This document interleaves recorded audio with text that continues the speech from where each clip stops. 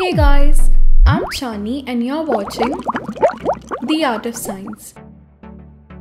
Did you know that all rotating bodies, including the planets revolving around the sun, the moon revolving around the earth, these spinning trays, orbiting balls, experience a pair of forces called centrifugal and centripetal forces?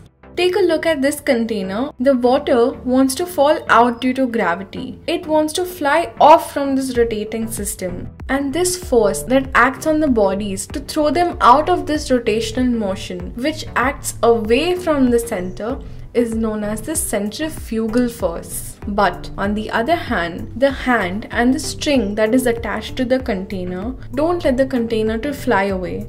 They pull the water back inside towards themselves. This is the center seeking force, which opposes the centrifugal force, and this is called the centripetal force. This is a clip from a live science theater called the Fab Lab show. In this show, the host tries to spin these trays with cups of water on it while our robot co-host Chip tries to explain the science behind why the cups don't fall out of the tray. Make sure you check out the trailer of the Fab Lab show. I've linked it up here and in the description box as well. Similarly, the moon and the planets experience a centrifugal force which makes them want to fly away from their revolutionary orbits. But the gravitational pull between the sun and the planets and the earth and the moon acts as the invisible string exerting centripetal force to keep them in place. One of the ways to actually show these forces is to perform this orbiting balls experiment. We know that the larger ball is heavier, but when we rotate the smaller ball, the tension in the string connecting the two balls increases due to the centripetal or the center seeking force. The faster we rotate it, higher is the tension in the string. I have linked the video up here and in the description box as well.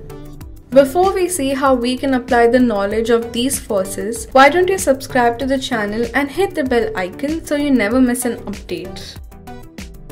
One of the applications of these forces is to make a straw pump.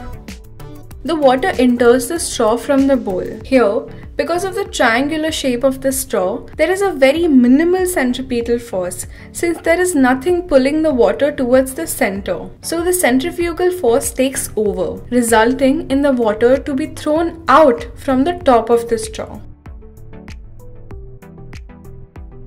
Using the same principle, you can make this DIY centrifuge.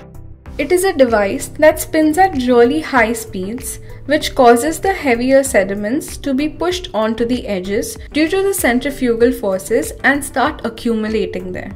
The lighter particles accumulate in the center. The links to both the DIYs are up here and in the description box as well. If you have any questions or if you try these DIYs, let us know in the comments below and we'll see you next week.